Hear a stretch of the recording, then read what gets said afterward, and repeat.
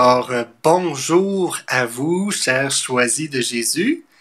Je suis heureux de vous retrouver en ce dimanche, euh, en ce beau dimanche aussi. Pourquoi qu'il est beau ce dimanche? Parce que, voilà, il y a la présence du Christ qui vient illuminer nos cœurs si on accepte, bien sûr, de l'accueillir dans nos cœurs. Donc, euh, pour moi, il vient illuminer mon cœur et ce qui vient aussi euh, nous donner de pouvoir ouvrir notre regard à la beauté de ce qu'il met sur notre route aujourd'hui. Hein? Parce qu'aujourd'hui est un jour où je peux tout simplement m'émerveiller et aussi rendre grâce pour tout ce que le Seigneur a fait hein, dans la dernière semaine dans ma vie, mais pour tout ce que le Seigneur met aussi sur ma route aujourd'hui. Et puis, je m'émerveille déjà de la luminosité qu'il me met et qu'il me donne de pouvoir voir que la réelle luminosité, la, réelle lumière, c'est lui qui me l'apporte. Donc, cette lumière-là naturelle me permet de reconnaître Dieu dans son action en moi. Donc, bienvenue à chacun. Je vois que vous êtes déjà plusieurs euh, à être connectés, à être au rendez-vous et je vous euh, souhaite la bienvenue à chacun. J'aimerais aussi euh, vous rappeler que le, dernier live que nous avons eu avec donc Anicia, qui a été absente, mais où on a simplement repris un Facebook Live, qui portait le titre de l'ABC. Hein? L'ABC, question de bon sens. Question de bon sens, ça veut dire dans l'ordre dans lequel on, on fait les choses. Hein? A, si vous vous souvenez, c'était pour accueillir, B pour bénir et C pour comprendre. Lorsqu'on suit cet ordre-là, c'est comme si on comprend en accueillant, en bénissant, on comprend un peu plus ce que le Seigneur veut nous euh, donner, nous dire, euh, nous, euh, nous gratifier, ce que le Seigneur veut nous dire aujourd'hui. Hein. On comprend un peu mieux ça parce qu'on prend le temps de l'accueillir, parce qu'on prend le temps de le bénir. Et puis c'est un peu ça que j'ai fait en entrée de jeu, en entrant. J'ai pris le temps d'accueillir ce qu'il était là, de bénir pour tout ce que le Seigneur met sur ma route aujourd'hui et aussi de façon à ce que le Seigneur puisse me donner de, euh, que cette action-là puisse me donner de comprendre l'action de Dieu en moi, de comprendre aussi vers où le Seigneur veut que j'aille. Aujourd'hui, ben, je nous invite à euh, tout simplement aller vers ce titre-là. Je pense qu'on a raccourci le titre un peu là, sur le live d'aujourd'hui parce qu'il est un peu long, mais je vous le donne au complet. Donc, acceptes-tu de renoncer à ton bien-être, à ton image, à ta réputation, surtout à tes pensées? Hein? On parle ici de renoncement. Et comme à mon habitude, j'aimerais vous poser cette question-là aussi, mais un peu plus réduite, comme on avait dans le titre, le renoncement, le fait de renoncer. Qu'est-ce que ça fait monter en moi? Qu'est-ce que ça fait surgir en moi? Comment j'accueille ça? Hein? Quel mot que je peux mettre là-dessus? Pour que, justement, puisse germer, hein? puisse on puisse mettre en terre quelque chose qui va germer, quelque chose qui pourra porter du fruit pendant cette journée, pendant notre semaine. Donc, euh, je ne vais pas plus en avant que ça. Sinon, en vous lisant le message, la, la pensée de ce jour, qui est extraite du volume 1 au numéro 3, donc le même euh, mais c'est le même numéro qui sera lu et commenté par Léandre euh, après, la lecture de, ce, de cette pensée du jour-là, qui commence, qui dit comme suit Mon enfant d'amour, je suis toujours avec toi, je ne t'abandonne jamais. Tu es précieux pour moi, je te prends en charge, je prends aussi tes affaires. Hein? on a cette confirmation-là que euh, Jésus, que Dieu, que Dieu le Père est toujours avec nous, qui nous accompagne. Et sachant ça, qu'est-ce que le renoncement vient faire surgir en moi? Comment j'accueille ça ce matin? Donc, euh, on va aller méditer, on va aller lire un peu plus en avant le message numéro 3 du volume 1 et on va laisser Léandre aussi commenter et je vous reviens tout de suite après. À tout de suite.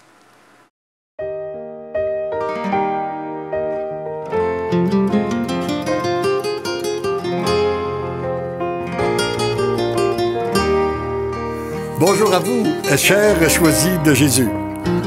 Aujourd'hui, nous allons réfléchir ensemble sur le message numéro 3 qui a eu qui contient une demande du Seigneur qui a eu une importance capitale dans ma vie.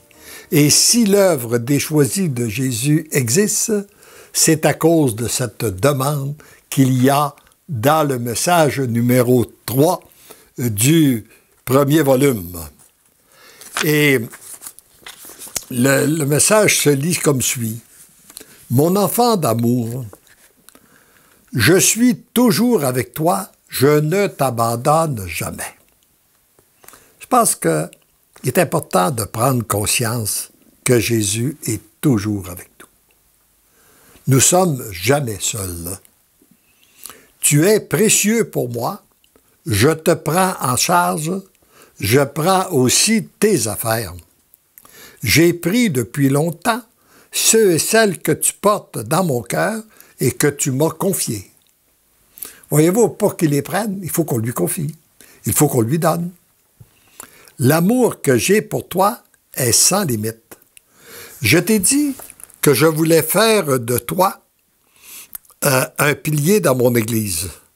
Demeure en mon écoute. Ce qui est important, c'est de demeurer à son écoute. Trop souvent, nous prions et nous voulons que Dieu nous écoute. Mais nous, est-ce qu'on l'écoutons? Est-ce que nous l'écoutons? Et là, il vient nous dire, je veux, demeure à mon écoute. Je conduirai chacun de tes pas. J'ouvrirai chacun des chemins qui doivent être ouverts. Je fermerai tous les chemins qui doivent être fermés. Lui, il est le Tout-Puissant. Alors il peut tout ouvrir, tout fermer, tout arranger. Ce que tu vis présentement, c'est ce qu'il y a de mieux pour toi. Aujourd'hui, ce qu'il y a de mieux pour toi aujourd'hui. Demain, ce sera autre chose. Léon, j'ai une grande demande à te faire. Acceptes-tu d'être pour moi celui qui ne vit que pour moi? Qui renonce à son image, à son bien-être, à sa réputation, surtout à ses pensées. Réponds-moi. Eh bien, moi, j'ai répondu à cette grande question sans aucune hésitation. Ma réponse est un grand oui. Avec autant de force que je le peux et de tout mon être. Tu connais mon impuissance. Toi, agis en moi afin que mon oui soit comme tu le veux pour ta plus grande gloire à toi. Et si les livres ont paru, lorsque l'éditeur m'a dit, parce que moi, vous savez, je n'ai pas cherché d'éditeur, j'ai simplement accepté de passer mes écrits à, certaines personnes, ils se sont retrouvés entre les mains d'un éditeur qui a dit il faut publier ça. Et la première question que je lui ai posée, est-ce que c'est nécessaire que mon nom soit là? Il m'a dit, c'est toi qui décides. Alors j'ai posé la question au Seigneur, vous trouverez ça dans un autre, texte plus loin, où, et j'ai pas eu de réponse. Alors je me suis dit, donc, mon nom n'est pas important. Ce qui est important, c'est le message, c'est pas le messager et je me suis choisi un nom de plume, Joseph Antoine. Parce que sur mon, baptême, euh, sur mon nom de baptême, c'est Joseph Antoine Léandre. Alors donc, Joseph Antoine, personne ne me connaît sous le nom de Joseph Antoine. Et trois mois plus tard que j'avais posé cette question-là, jour pour jour, j'ai reçu la réponse où il, euh, il me dit, ton nom n'a pas d'importance. Ce que je fais à travers toi, je peux le faire à travers n'importe quel de mes enfants de la terre euh, qui me donne leur oui. À une seule condition, c'est qu'ils me donnent leur oui. Mais j'aime passer par des gens bien identifiés. Regarde les gens que j'ai mis sur ta route pour te faire cheminer dans la foi. Tu les connais. Et moi, je veux passer. Donc, je veux que ton nom soit là. Tu auras à en souffrir, mais je veux qu'il soit là. Et là, j'ai accepté. C'est à partir de ce moment-là que j'ai, accepté que mon nom soit là. Et pour vous donner un peu l'état d'esprit que j'étais, quand le premier volume a paru, je savais que du côté de mon épouse, ça ne créait pas de problème parce que nous avons toujours cheminé ensemble. À chaque matin, je lui partageais ce que j'avais reçu dans la nuit. Et, mais du côté des enfants, je craignais beaucoup. Alors, euh, personne ne savait que ça devait être publié.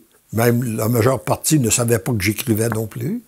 Alors, j'ai attendu que le livre soit édité et dans la même semaine, je les ai rencontrés tous les cinq en leur disant euh, Voici, il vient de paraître un livre, mon nom est là.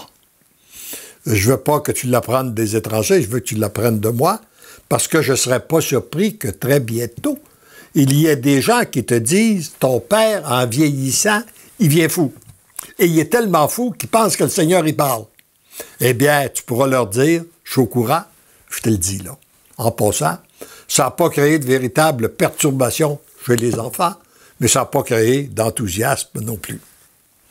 Mais c'est à la suite de cette parole-là que cette demande, parce que l'effet que j'avais donné ce oui-là, j'ai accueilli, j'ai accepté que mon nom soit là et qu'il soit publié. Alors, euh, et là où j'ai eu, j'ai eu une très belle confirmation aussi, lorsque euh, le cardinal de la Lettonie, Janis Buja, euh, à la deuxième rencontre qu'il avait ce livre-là entre les mains, il m'a dit c'est le plus beau livre qu'il m'a été donné de lire. Il l'a ouvert et il l'a lu. Léon, j'ai une grande demande à te faire. Acceptes-tu d'être pour moi celui qui ne vit que pour moi, qui renonce à son bien-être, à son image, à sa réputation, surtout à ses pensées, réponds-moi. Ben, il dit, lorsque j'ai lu ce texte-là, j'ai compris que c'était à moi que le Seigneur posait la question. Et je me suis empressé de lui donner mon oui. Et aujourd'hui, j'ai la certitude que le Seigneur pose la question à tous les lecteurs et lectrices de ces livres-là. La personne n'est pas obligée de répondre. Mais si elle répond oui, elle va être inondée de grâce et d'amour tout au cours de la lecture de ces livres-là. Si elle ne répond pas, ça peut être un livre comme un autre. Alors donc, j'y réponds. Alors, et après lui avoir donné mon oui, le, texte continue. Je suis fier de toi. J'aime ton oui. Je le ferai grandir je te confie à ma Sainte Mère pour qu'elle t'enseigne, qu'elle continue à t'enseigner ce que tu dois savoir. Elle t'aime beaucoup et elle te protège. Sois sans crainte de continuer à avancer dans la foi, tu as tout à découvrir. Prends le temps d'intégrer en toi ce que je viens de te donner. Et nous avons tous besoin d'être conduits par Maman Marie, qui est la reine des anges. Et elle nous conduit pas à pas, elle nous conduit dans les bras de Jésus, qui nous conduit au Père. Et petit à petit, ceci nous fait découvrir l'importance de l'amour de Dieu, de sa miséricorde. Et c'est le, c'est le vœu, c'est la grâce que je demande pour vous aujourd'hui, que vous, vous acceptiez de vous laisser, que vous redonniez votre oui, que vous vous laissez conduire par Maman Marie, car vous comme moi, sur le plan de la foi, nous avons à découvrir.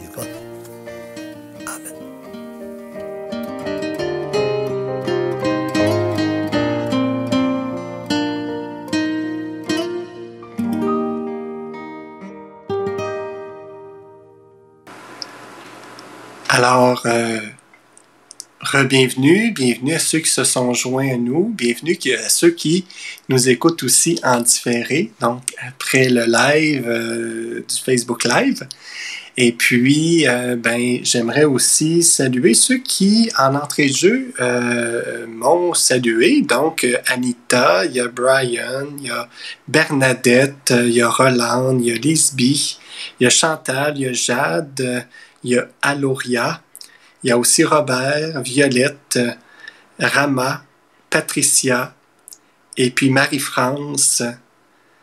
Voilà, donc je vous souhaite la bienvenue, je vous souhaite merci. Donc moi aussi, je vous dis bonsoir pour la plupart et bonjour pour les autres. Donc merci d'être là. Et pendant l'écoute de ce live, j'ai vu qu'il y en a quelques-unes, quelques-uns qui ont commenté. Euh, je vais prendre quand même les commentaires que vous avez faits selon la sélection que Nancy me donnera, tout simplement. Donc euh, voilà. Il y a Patricia qui dit Merci Seigneur, je fais confiance à ta toute-puissance de Dieu pour ma vie. Je fais confiance à la toute-puissance de Dieu pour ma vie. Amen. On dit que Dieu, il est le Dieu, il est tout-puissant. Donc, je fais confiance en cette toute-puissance-là de Dieu sur ma vie. Donc, la confiance qui est là. Hein? Donc, c'est dans la confiance que je reçois ça. C'est ce que je comprends, Patricia, c'est que euh, ce que tu reçois du message de ce matin, tu le reçois dans la confiance, hein? en la toute-puissance de Dieu dans ta vie. Il y a Roland qui dit Remplis-nous de ton amour, Dieu Tout-Puissant. Encore cette référence-là au Dieu Tout-Puissant. Donc, remplis-nous de ton amour. L'état qu'on voit là-dedans, c'est un état de prière, un état d'accueil aussi, où ce que tu demandes au Seigneur de venir, euh, je dirais, imbiber cette terre d'amour-là que tu es. Hein. Venir mettre en toi, déverser en toi cette eau-là qui va pouvoir, euh, je faire germer hein, cet amour-là. J'ai Marie-France qui dit Oui, Seigneur, j'ai confiance en toi. Tu n'as jamais abandonné, tu m'as jamais abandonné depuis ma naissance. Je te suis reconnaissante, je demeure à ton écoute. Je te dis oui. Donc, c'est une belle, une belle prière qu'on retrouve ici, hein, Marie, Marie-France, où ce que tu dis que tu as confiance, que tu es reconnaissante parce que le Seigneur t'a jamais abandonné et puis que euh, tu demeures aussi à son écoute et je te dis oui. Donc, j'entends là-dedans que tu dis oui au renoncement, que tu acceptes de renoncer toi aussi à toi-même, à ton bien-être, à ton image, à ta réputation, à tes pensées. Donc, euh, donc c'est comme ça que tu reçois ça aujourd'hui, cet appel-là, cette interpellation-là de Jésus aujourd'hui. Chantal qui nous dit Jésus, je m'attache de plus en plus à toi de jour en jour. Je te remercie de m'aimer. Je renonce à tout mon bien-être pour toi Fais de moi ce que tu désires, je te suivrai là où tu iras. Gloire à toi Seigneur, je te fais confiance. Donc, il y a quelque chose où ce qu'on on sent à travers cela, Chantal, que toi, ce qui est important pour toi, c'est euh, euh, de, d'accueillir en fait l'amour de Jésus, le fait de t'approcher de lui, le fait de t'attacher un peu plus à lui. Euh, à chaque jour, dans un renouvellement, dans un euh, dans le fait d'acquérir, le fait que le Seigneur nous accompagne, c'est quelque chose qui fait que, euh, à force d'être accompagné, hein, on se rapproche de la personne qui nous accompagne, comme si on devient de plus en plus intime avec elle et comme si on peut lui confier de plus en plus de choses. Et c'est ce que je sens, Chantal, dans ce que tu nous partages, c'est que c'est un cheminement et que euh, le Seigneur ne cesse de nous accompagner, mais on voit que toi, tu es sur le chemin aussi et que tu, tu acceptes cet accompagnement-là. Et oui, gloire à toi, Seigneur, comme tu dis, et puis la confiance naît à travers cela. Je te fais encore plus confiance. Donc, rapproche-toi de moi. Merci, Chantal.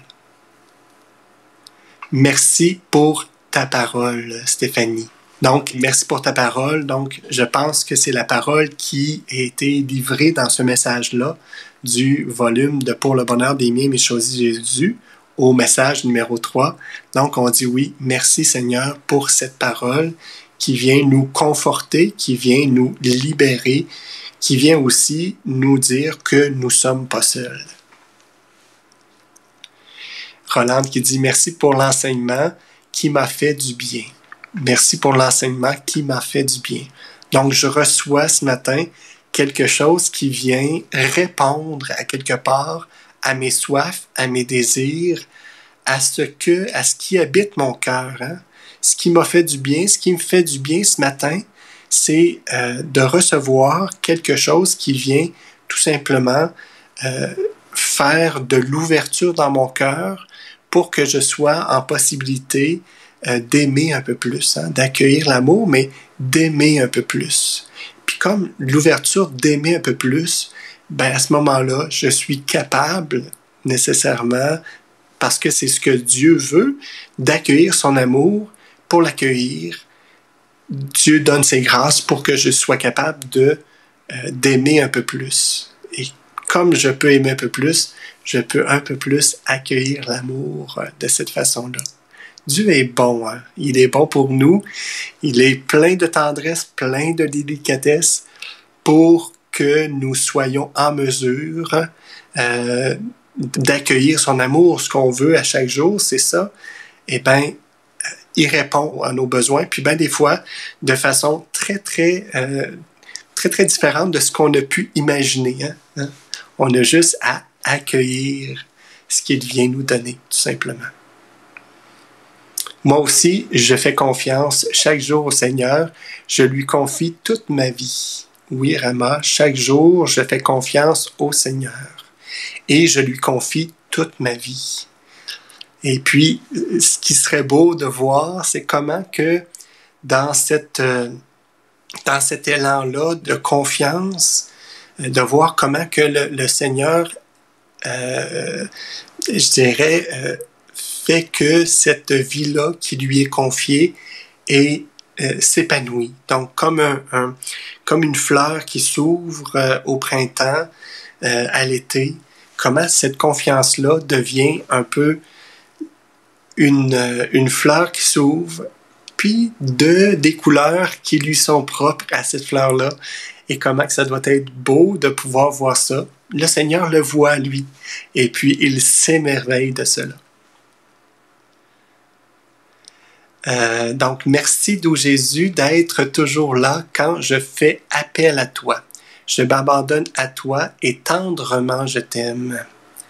Donc, merci d'être toujours là quand je fais appel à toi. Avec trois petits points. On sent que ces trois petits points-là en disent long dans le sens que Jésus est quelqu'un pour toi de proche. Hein.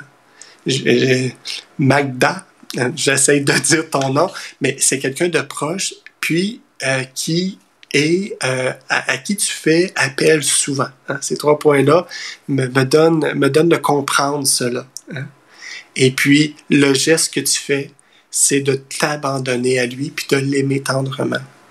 De l'aimer tendrement, ça se fait euh, dans le visible, oui, et comme dans l'invisible, mais ça se fait dans le visible à travers ceux et celles que l'on rencontre, ceux et celles qu'on côtoie à cœur de jour aussi. Donc, c'est d'aimer Jésus tendrement que d'aimer les personnes qui nous entourent aussi. Jade qui nous dit, Je sais que je suis précieuse à tes yeux, malgré mes manquements et mes faiblesses. Je veux renoncer à tout ce qui vient, qui ne vient pas de toi, pour m'approcher de plus en plus de toi, Seigneur Jésus. Donc, je sais que je suis précieuse à tes yeux, hein, malgré mes manquements et mes faiblesses. Et c'est ce qui fait la beauté, ta beauté aux yeux de Dieu, Jade, c'est que ces manquements et ces faiblesses-là sont pour le Seigneur euh, ce qui te caractérise, ce qui fait que tu es précieuse à ses yeux. Hein. Parce que tu te sais faible, parce que tu sais que tu as des manquements, eh bien, cela te donne la porte d'entrée, la grande porte d'entrée pour être sa choisie, hein, sa choisie, et pour euh, lui, donner l'occasion de pouvoir t'aimer, hein, de pouvoir t'aimer.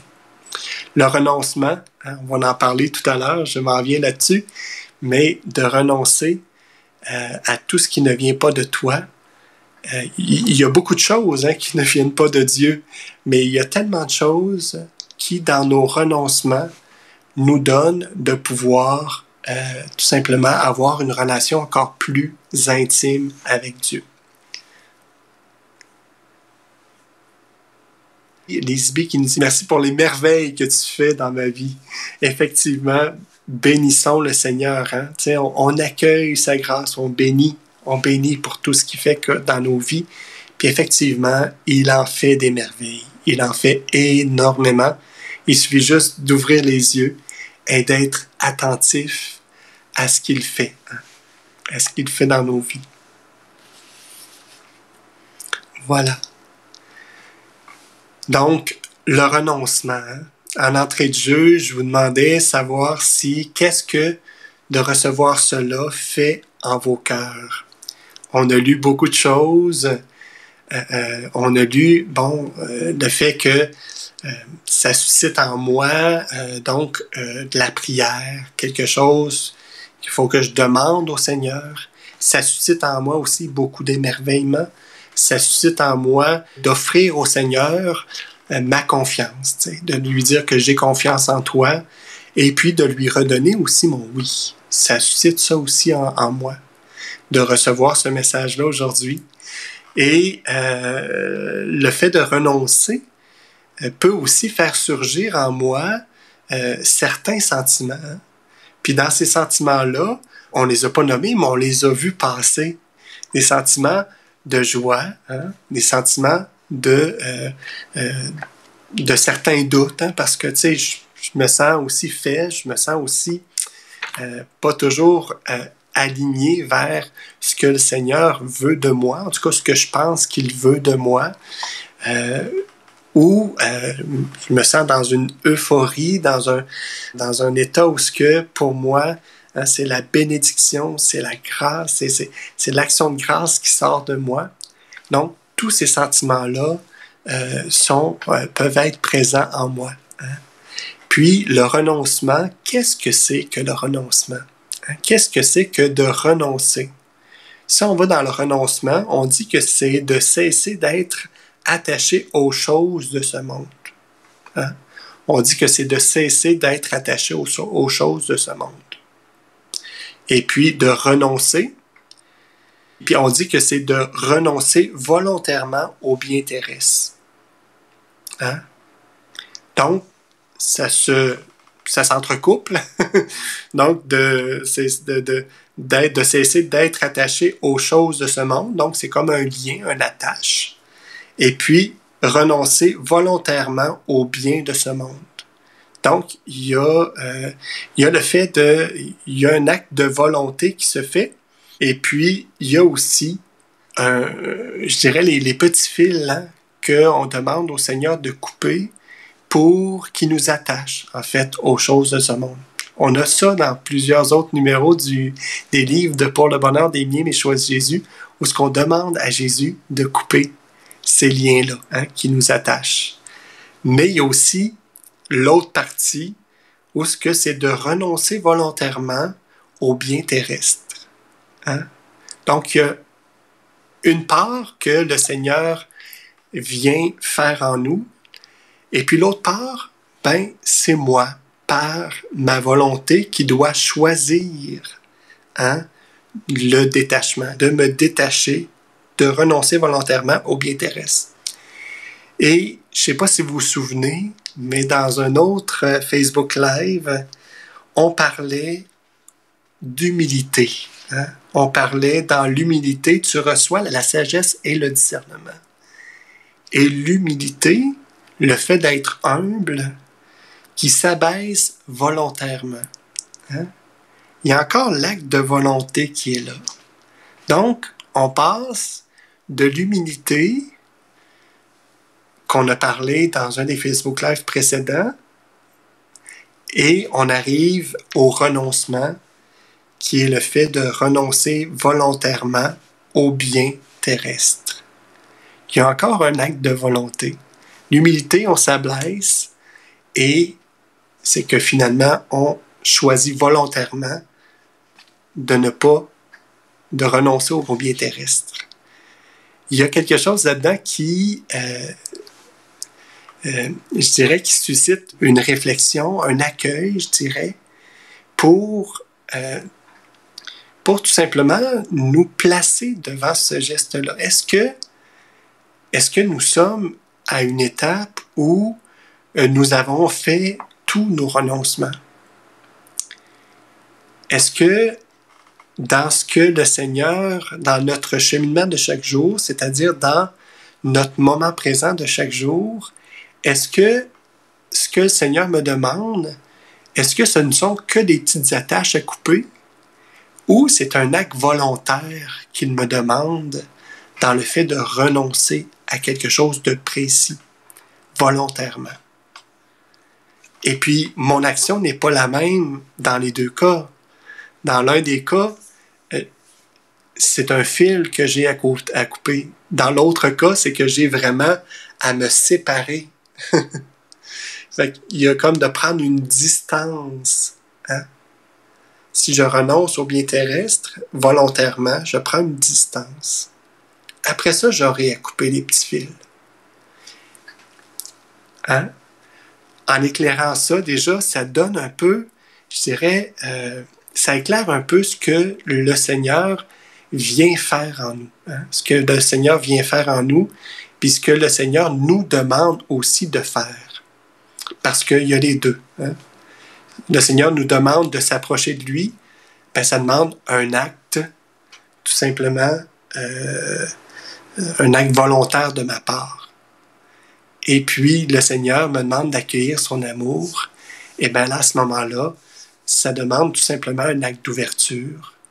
Et puis, à ce moment-là, on peut ensemble, lui et moi, hein, couper des liens qui m'attachent encore à des choses de ce monde. Puis n'oublions pas, hein, en entrée de jeu, dans la lecture du volume, le Seigneur nous dit, nous confirme qu'il est toujours là. Nous confirme que lui, il n'a de cesse que d'être là, de nous accompagner. Je reprends les mots tout simplement. Je suis toujours avec toi. Je prends tes affaires et je te prends en charge. Hein? Je, te prends en charge et je prends aussi tes affaires. Je prends ceux et celles que tu me confies. Demeure à mon écoute. Je te conduis. J'ouvre. Je ferme les chemins qui doivent être ouverts ou fermés. Je suis le Tout-Puissant. Hein? Je suis le Tout-Puissant. Et il vient confirmer qu'il est là, qu'il est là, qu'il nous suit, qu'il nous, qui n'a de cesse que de notre bonheur. Et la seule demande qu'il nous fait dans cette liste-là, c'est de demeurer à son écoute. Hein, de demeurer à son écoute pour que je puisse entendre et discerner ce qui vient de lui. Puis pas juste le fait d'entendre et de discerner, mais d'accueillir. Hein. C'est ça d'entendre, on accueille. Puis de discerner par la suite ce qui vient de lui pour que je puisse continuer à me mettre en marche. Parce que, hein, le Seigneur le dit, hein, sois sans crainte de continuer à avancer dans la foi. On parlait de foi pure, le dernier rendez-vous du dimanche, d'avancer dans la foi pure. Eh bien, dans ce message-ci aussi, on parle aussi d'avancer dans la foi. Et le Seigneur ne nous dit pas de reste sur place puis accueille-moi, parce que ce qui s'apprend avec le Seigneur s'apprend en le faisant, en vivant notre moment présent, c'est-à-dire en avançant. Et je suis à l'écoute de lui. Si j'ai fait un pas qui n'est pas tout à fait aligné dans la direction euh, que lui me demande, c'est pas un pas de trop, c'est pas un pas que j'ai pas fait assez, c'est pas un pas où ce que je dois me juger comme étant incompétent, mais c'est un pas qui me permet de réaliser que son action en moi se fortifie, que je m'en viens de plus en plus capable d'accueillir son amour et d'entendre ce que lui veut que je sois pour lui le pas que j'ai fait a reporté les fruits qu'il a reportés. Puis, il me demande de continuer à avancer avec qu'est-ce que je sais aujourd'hui. Hier, je savais ce que je savais. Aujourd'hui, je sais ce que je sais, dans le sens que le Seigneur m'instruit à chaque jour et j'accueille à chaque jour son instruction et j'ai à avancer avec ça.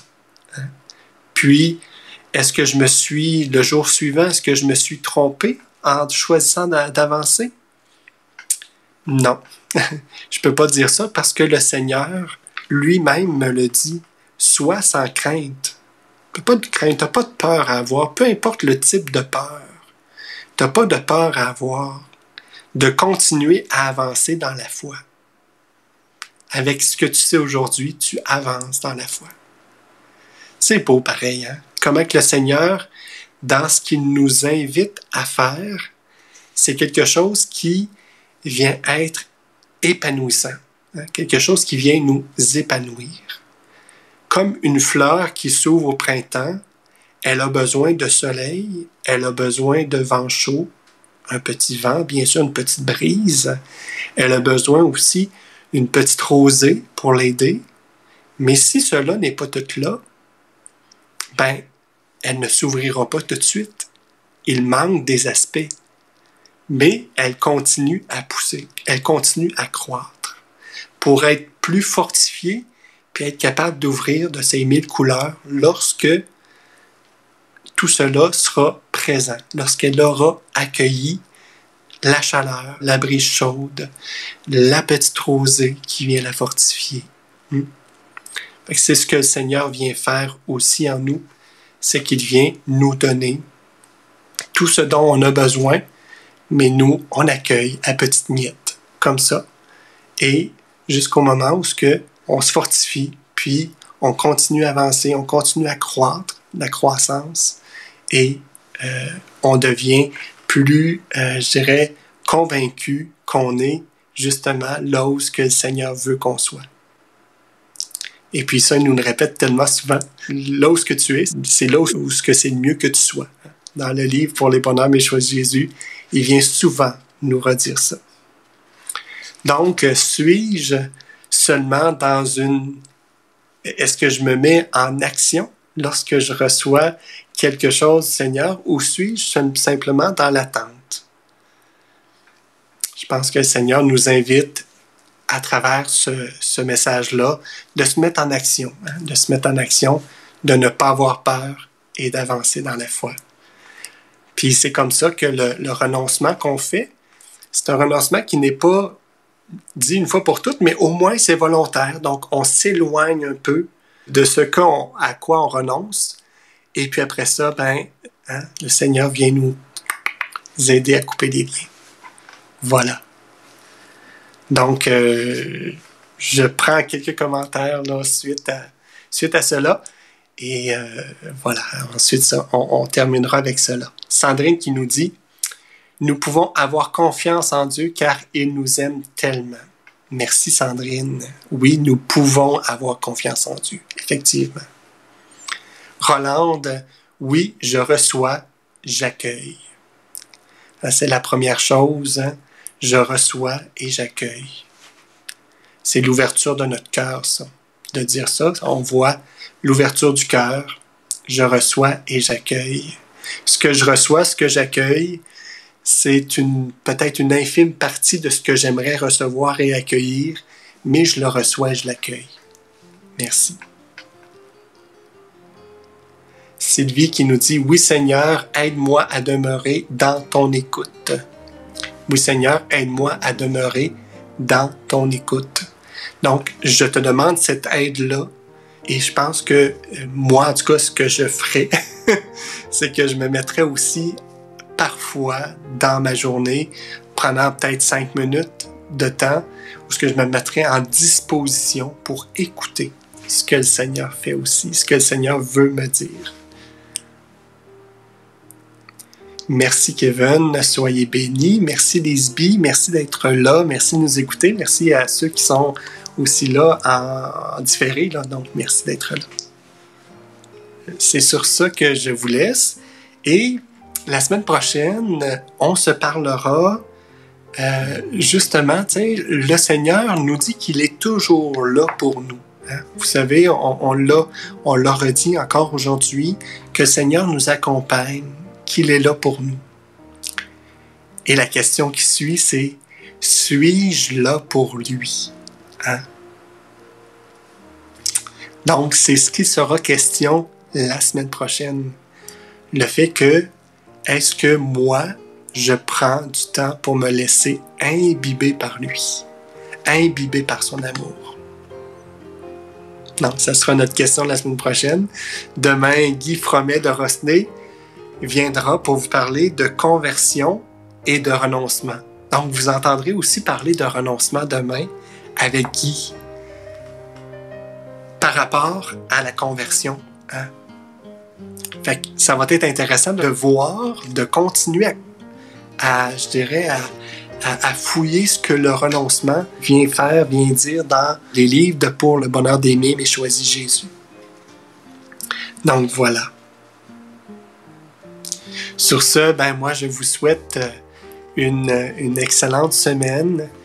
Euh, prenons le temps hein, de se laisser, euh, d'accueillir tout ce qui nous a été donné et pour que cela puisse porter du fruit, pour que cela engendre la croissance et pour que cela puisse aussi briller de ses mille feux à travers ce que nous sommes et à travers ce que Dieu euh, est heureux que nous soyons aussi cette perle précieuse pour lui.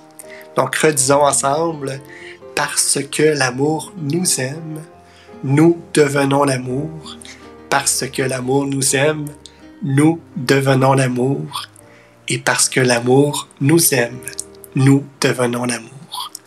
Donc à dimanche prochain. Au revoir.